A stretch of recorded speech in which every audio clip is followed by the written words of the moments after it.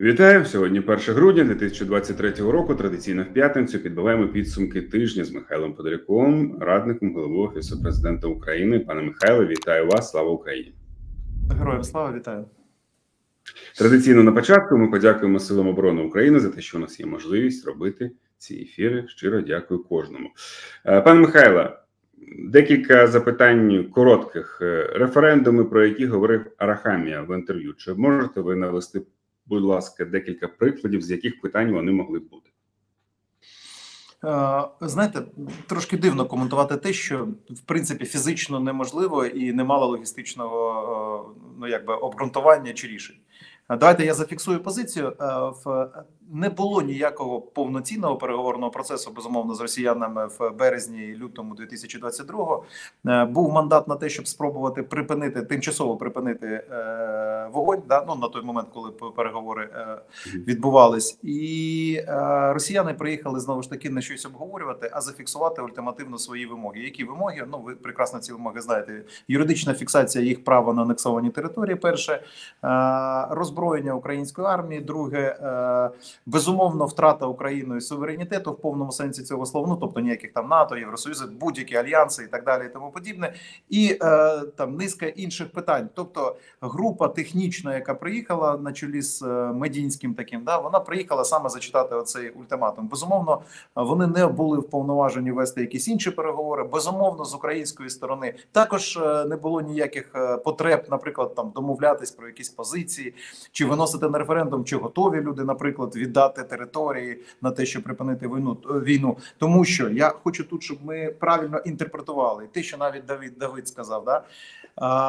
скажімо так, росіяни зайшли з війною не для того, щоб з вами підписати якісь угоди. Росіяни зайшли з війною для того, щоб забрати набагато більше територій, довести, що вони вправі контролювати вашу територію, е, довести е, своє право на анексовані території юридичне, ну і позбавити Україну будь-яких ознак держави, повноцінної держави, тобто перетворити Україну на failed state.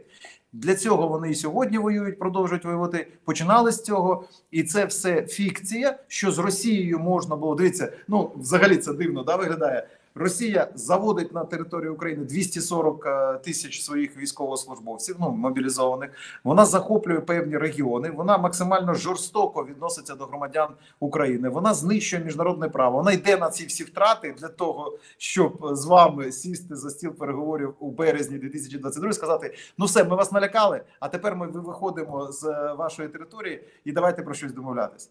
Ну головне тільки, щоб ви там в НАТО не вступили. Ну це ж нонсенс, правильно. Трошки треба дорослими бути, коли ми такі теми обговорюємо. Я маю на увазі, треба чітко розуміти і зафіксувати в своїй свідомості три речі, коли ми говоримо про будь-які події щодо Росії. Перше, вони зайшли саме з війною для знищення в тому чи іншому вигляді державності України. Перше, друге, вони не вели тоді переговори і не ведуть сьогодні, і не хочуть ці переговори вести. Вони хочуть або виграти війну, або її програти. Ну програти вони не хочуть, але в них такий шанс знову ж таки сьогодні є. І третя складова участь України. Це не про те, участь я мене делегації України була не про те, щоб щось там з ними обговорювати. Фактичне да участь української делегації мала на меті дві цілі послухати ультиматум, подивитись, що це таке, наскільки вони реалістичні, і було видно, що вони нереалістично оцінюють події. І друга складова, все ж таки, спробувати. Я нагадаю, це був лютий, кінець лютого, початок березня 2022-го, е, Забезпечити там 24 годинне, 48 годинне припинення вогню. Все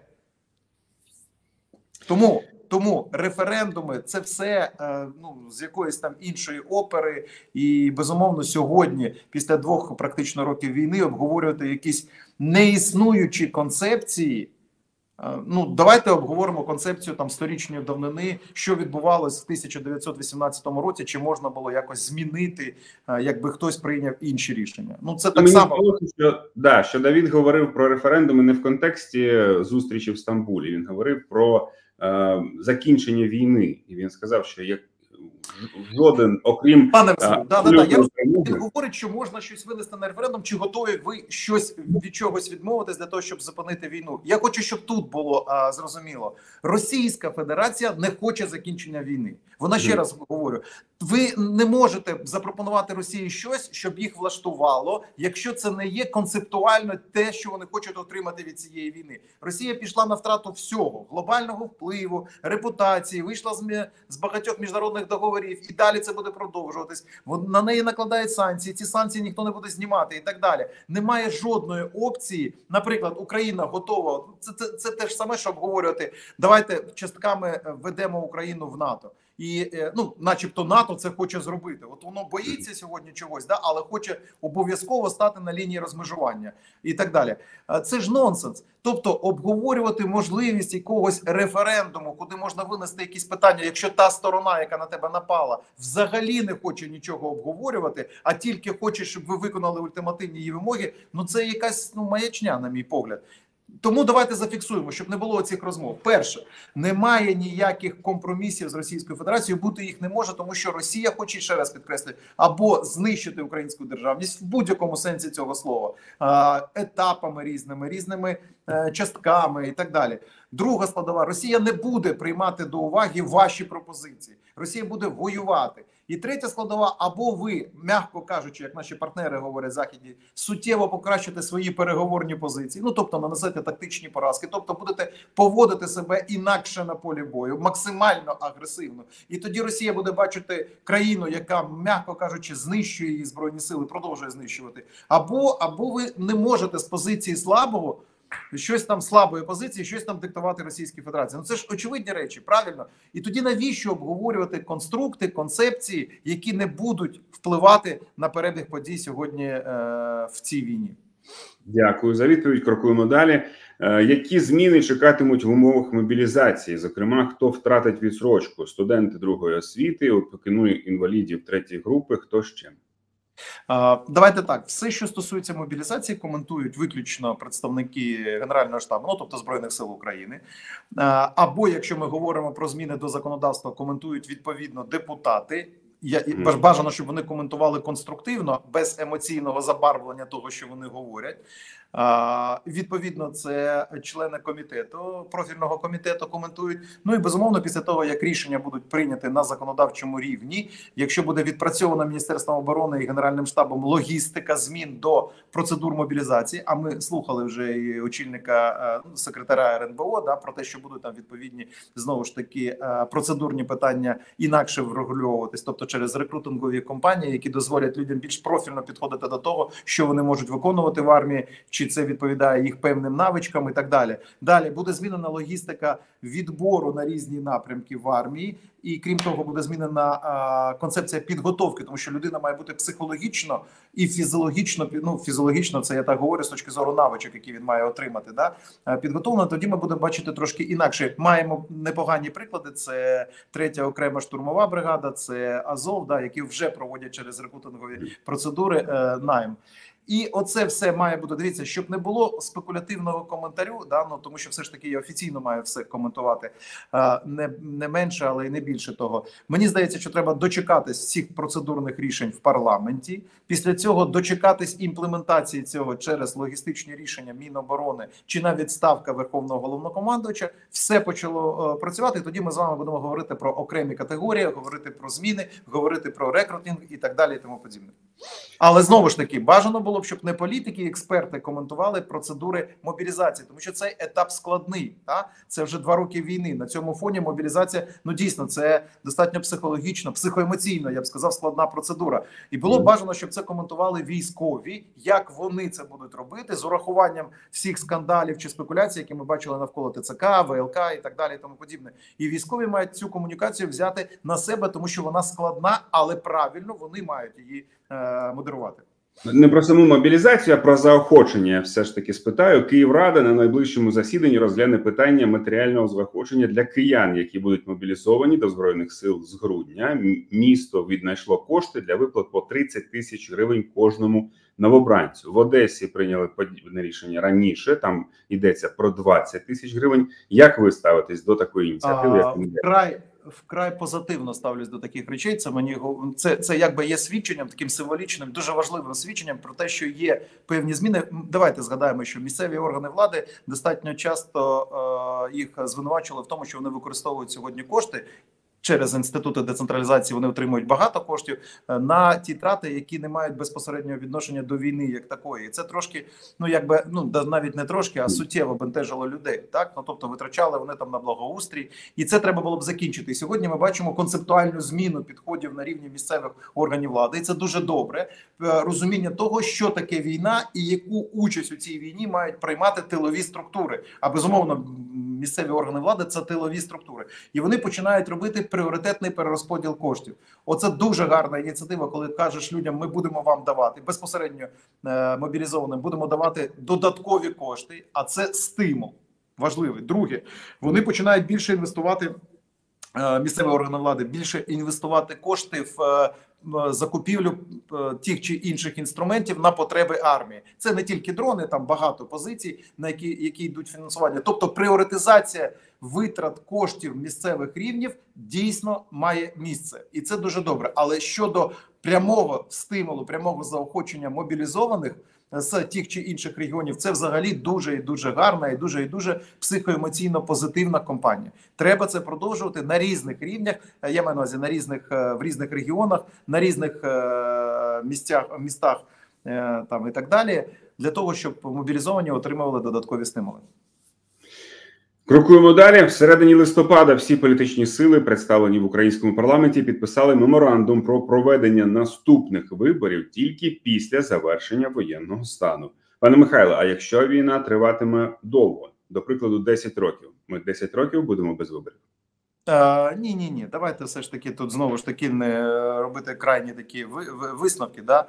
Е, це меморандум. По перше, тобто е, політичні партії проявляють свою політичну зрілість. Вони говорять про те, що сьогодні немає можливості забезпечити безпековий і логістичний контур для проведення тих чи інших виборчих кампаній. Ми вже обговорювали, які це є проблематики. Це безпека, перш за все, по всій території, логістика самого процесу, обновлення оновлення реєстру виборців, да, тому що 14 мільйонів переміщених осіб внутрішньо і зовнішньо це можливість висуватись і бути обраним, можливість проводити виборчу кампанію, агітаційну кампанію. Це можливість зробити на прифронтовій зоні ті чи інші виборчі дільниці, але це ну ви розумієте, які це ж не маленька територія, це величезна територія. Це і можливість спостереження, і так далі. Це і фінансування. Ну тобто багато питань а ну і зміни до законодавства, які треба було б врегулювати, але є от два нюанси.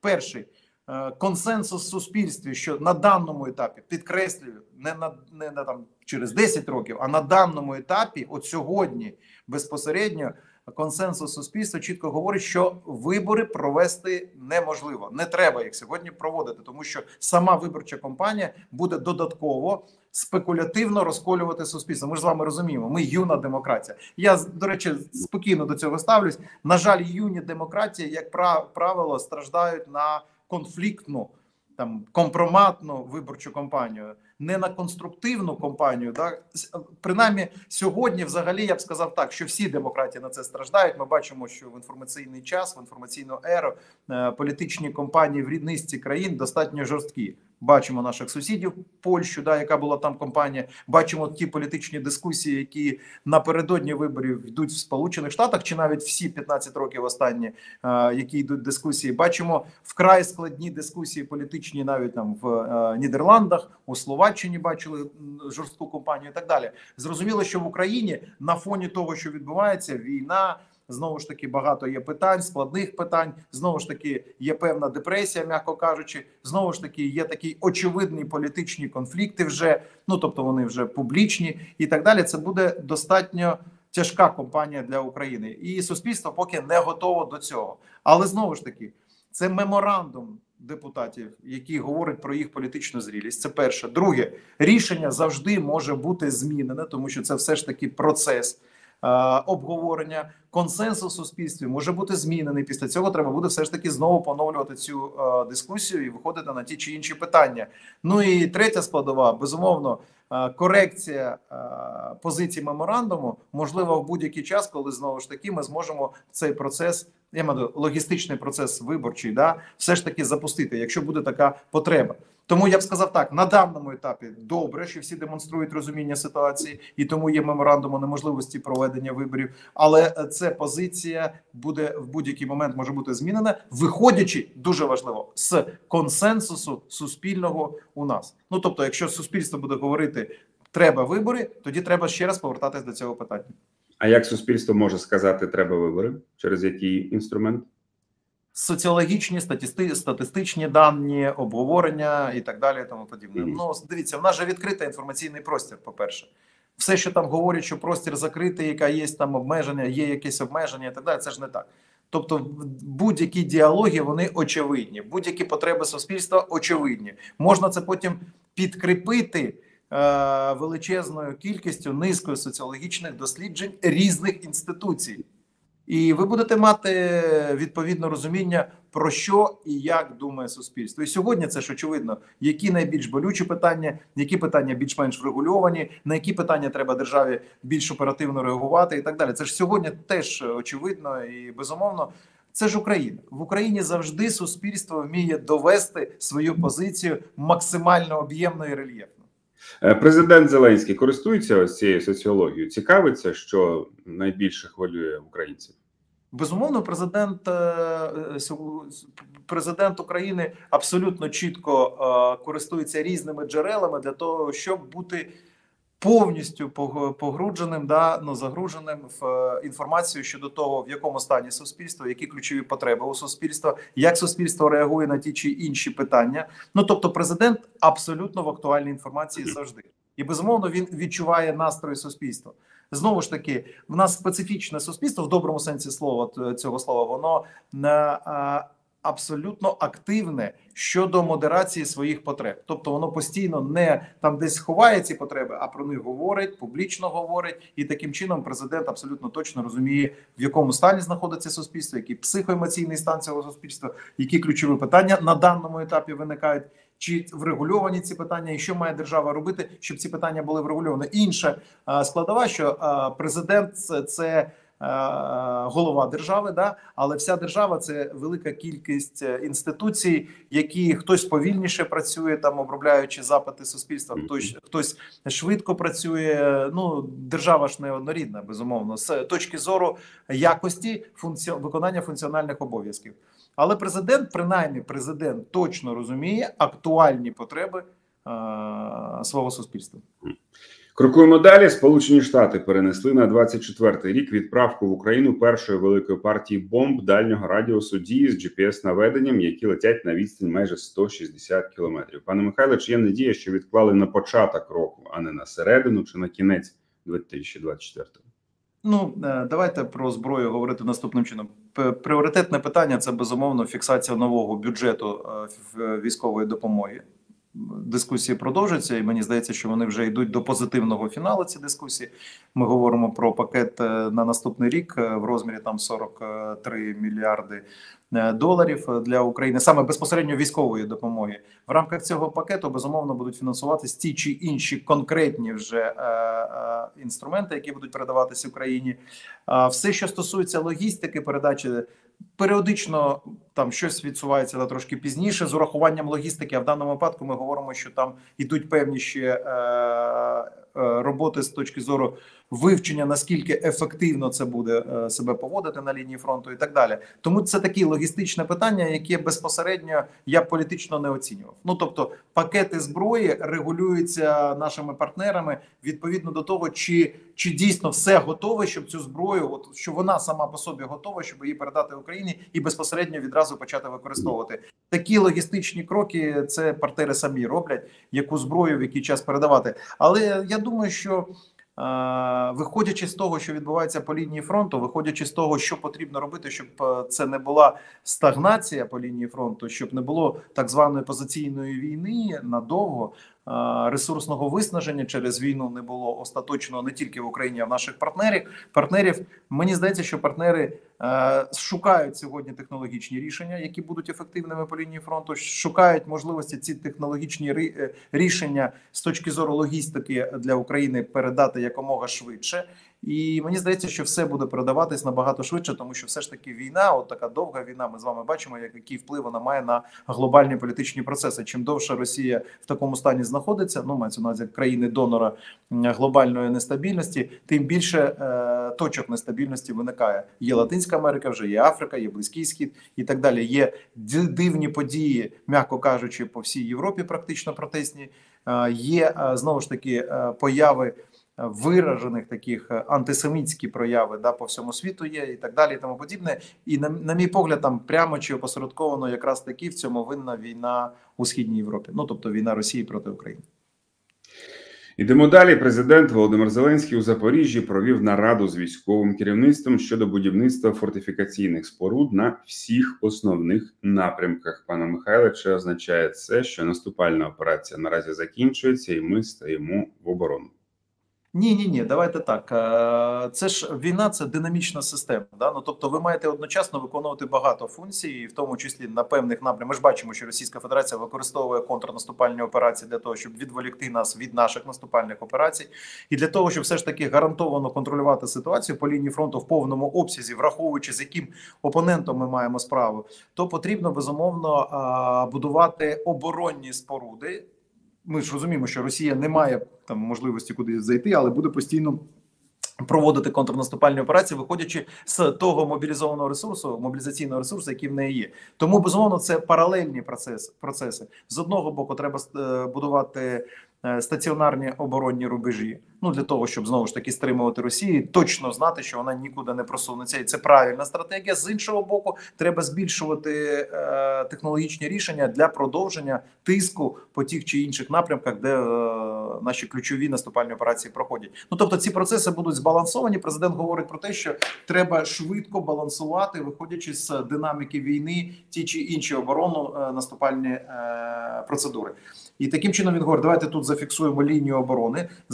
Є певні бригади, які якраз до речі спеціалізуються на оборонних технологіях. Ну мається на увазі, вони а, якраз таки закривають е, можливості для Росії просуватись кудись. Є штурмові бригади, які виконують зовсім інші функції. Там різна зброя, різна управлінська структура і так далі. Для них е, зовсім інші завдання, якраз таки продовжувати тиск по лінії наступу на росіян. Прем'єр-міністр Словаччини Роберт Фіцо вважає, що його країна має підготуватись до нормалізації словацько-російських відносин після закінчення війни в Україні. Словаччина, Нідерланди через рік вибори у Сполучених Штатах. Пане Михайло, чи немає ризику, що через рік ряди наших партнерів порідішають? Ризики всього завжди є взагалі в житті завжди є якісь ризики. Треба навчитись е, аналізувати ці ризики і превентивно працювати з тим, щоб зменшити вплив тих чи інших ризиків на е, ситуацію як таку. Ну тобто, ми ж з вами розуміємо, що треба працювати і з Угорщиною, і до речі, вдається по якимось напрямкам там працювати, враховуючи, що Угорщина має певні е, такі дивовижні стосунки з європейською комісією. Треба спокійно ставитись до будь-яких політичних публічних заяв пана Фіцо. Він має право, тому що він йшов на виборчу кампанію з відповідними лозунгами. Е, на підставі цих лозунгів він отримав е, можливість бути прем'єром. Але знову ж таки є е, публічна складова, а є раціональна поведінка країни, яка входить в е, європейський союз, і так далі. Маємо з ними працювати. Маємо пояснювати. Я так само думаю, що з ними будуть працювати е, величезна кількість країн, які абсолютно точно підтримують Україну е, в рамках європейських європейського союзу. Є пан Вілдерс. Безумовно, він виграв вибори, але це не означає, що він, по перше, сформує уряд. А по-друге, що він буде радикально будувати свою політику, зовнішню політику на радикально інших позиціях. Ми знаємо, що сьогодні уряд е, Нідерландів заявив про те, що на 2024 рік заплановано просто фантастичний, як для Нідерландів, бюджет підтримки України, військової підтримки 2,7 мільярда євро. Ну це дуже потужно виглядає і так далі. Я б спокійніше до цього ставився. Просто б сказав, що треба робити. Треба робити. По перше, треба розмовляти професійно, функціонально, спокійно розмовляти з нашими партнерами, навіть з тими партнерами, які пере періодично роблять там певні політичні заяви. Друга складова треба аналізувати всі ризики, які виникають, наприклад, при зміні е, позиції щодо війни, і пояснювати це. Публічно пояснювати політичним елітам цих країн, які думають, що якщо вони внесуть певні зміни в свою політичну зовнішню політику, це приведе до якихось там більш позитивних наслідків для них. Ні, будь-які зміни, які приведуть до того, що Росія не буде змінена з політичної точки зору, приведе до вкрай негативних наслідків, в тому числі для країн, які так чи інакше хочуть там або залишитись осторонь цієї війни, або зменшити допомогу Україні, і так далі. І третя складова знову ж таки треба багато працювати з е, іноземними медіа, щоб е, були опосередковані впливи на політичні еліти. А головне, щоб були впливи на виборців, які знаходяться в цих країнах, пояснюючи, як пов'язані їх відчуття небезпеки, які в них зростає. Ну тому чому вони і голосують, до речі, за правих чи навіть ультраправих, тому що це більш пасіонарні, як вони вважають, е, партії, які чітко говорять, ми будемо робити те, інше і так далі щодо е, безпеки е, громадян своїх країн. І треба цим громадянам пояснювати, оте, що я вже говорив, є Російська Федерація як донор нестабільності, яка зацікавлена в тому, щоб вони були завжди налякані. А це буде означати, що поступово бюджети на самооборону, бюджети на самозахист будуть збільшуватись, і таким чином інвестиції в Україну це набагато менше треба витрачати грошей на те, щоб побудувати світ більш-менш безпечний, ніж доведеться витрачати завтра, якщо вся система буде зламана, на чому наполягає Російська Федерація. От на цих трьох напрямках треба спокійно працювати, а не знаєте, так не впадати в панічні настрої. Ух ти, йоли, в них там вибрав виграв вибори Вілдерс, все кінець. Нідерланди займуть іншу якусь позицію, і будуть там е- активно проти України. Це не так. Дякую. Ще одна інформація: 29 листопада НАБУ і САП викрило чотирьох суддів Київського апеляційного суду на одержанні неправомірної вигоди в розмірі 35 тисяч доларів за ухвалення потрібного рішення. Е, пане Михайло, як ми можемо розбудовувати правову державу, якщо ось чотири судді за 35 тисяч доларів фактично продають наше майбутнє? А, Гарна вибачте за пафос. Да, гарна фраза. Вона вона не пафосна, вона абсолютно справедлива. А, Ну, по перше, давайте дочекаємось е, розслідування, висновків розслідування. Чи будуть там юридичні е, висновки щодо цих суддів? Це дуже важливо, тому що періодично в нас викривають, а потім з'ясовується, що інституція побудована так, інституція правосуддя побудована так, що навіть при очевидних доказах людина може спокійно е, якби відмитись да, від того, щоб нести юридичне покарання, і це дуже погано. До речі, тому дочекаємось висновків. Е, щодо суддів не будемо коментувати безпосередньо е, цей випадок. Ширше скажемо про те, що саме це і вбиває майбутнє України, і це не пафосно. Тому що єдине, заради чого все сьогодні робиться, це е, заради е, справедливості, тому що справедливість включає в себе свободу, конкуренцію, все інше. Якщо немає відчуття справедливості, якщо інституції є корумповані, якщо інституції приймають відповідно несправедливі чи навіть незаконні рішення, це означає, що свобода як такої справжньої не існує, конкуренція як такої не існує, і тоді заради чого? Ти сьогодні е, я маю на увазі е, люди, які віддають все в цій війні, заради чого вони будуть так ставити питання. Це деморалізує. От всі ці випадки для мене це взагалі просто е, неможливо сприйняти. Ну ці ж люди вони живуть в цій країні. Вони бачать своїх співвітчизників, які віддають останнє, які віддають життя і так далі. І при тому вони спокійно хіхікаючи, беруть там хабарі, вони спокійно собі там е, розбудовують хатинки біля вишневих садочків і так далі, і тому подібне. От для мене це дивно, яка ментальність, да? і при тому вони можуть знову ж таки патріотичні промови говорити на відповідних святах. Це дуже дуже е, потужно б'є по концепції справедливості внутрішньої концепції справедливості в Україні, і безумовно додатково депресує е, суспільство і безумовно додатково ламає це суспільство, е, зневірює його і говорить заради чого. Я ще раз повторю це питання: заради чого? Тобто, щоб що? Щоб ви далі продовжували брати хабарі, і тому це, це не про пафос, це про правильне. І неправильне про справедливість і несправедливість, про те, що суспільство, якщо це не буде припинено, якщо ці е, достатньо інфантильні особи, які чомусь отримують суддівські мантії. Якщо вони не зрозуміють, то їм питання ці будуть задавати інакше, не процедурно, не затримуючи юридично, і це буде суспільно значуще питання, яке приведе до особистої катастрофи цих людей. Але як це зупинити на сьогоднішній день? Президент до речі постійно говорить: покарання має бути обов'язковим. Якщо взяли, треба відміняти всі процедурні е, уловки 22, які е, похибки 22, да, по-хелєровськи скажемо, які дозволяють людям так чи інакше не платити ціну за справедливість. Я маю на увазі тим, хто бере хабарі. Дякую, пане Михайле. Шановні глядачі. Прямо зараз, будь ласка, підпишіться на YouTube канал Михайла Подряка. В заголовку і в описі є посилання на цей канал. Зробіть це прямо зараз і не забувайте донатити на Збройні Сили України. Е, Давайте наближаємо нашу перемогу разом. Пане Михайле, дякую вам. До зустрічі. Слава Україні! Да, дякую вам, да, героям слава.